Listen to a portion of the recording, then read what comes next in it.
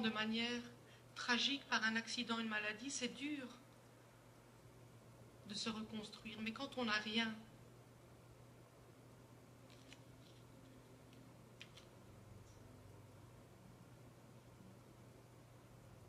on n'a rien, on n'a même pas la possibilité légalement de dire que notre enfant est mort.